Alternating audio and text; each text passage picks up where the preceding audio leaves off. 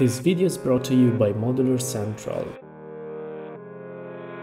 Hi there and welcome to part 8 of building the Dorade of 1931.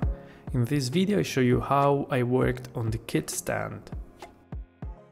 So except for the business as usual work, like gluing pieces together and refining them, you definitely have to let me know what you think of the stand shape.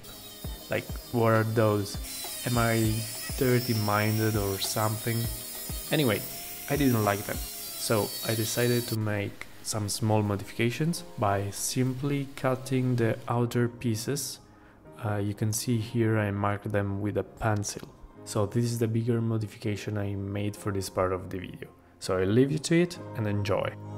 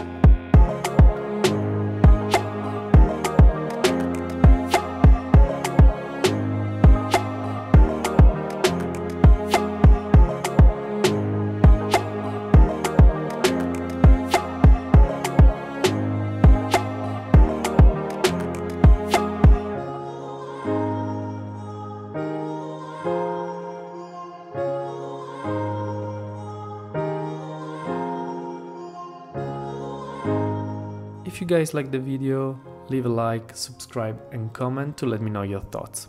As you know, I read and reply to all of your messages. Thanks and see you in the next video.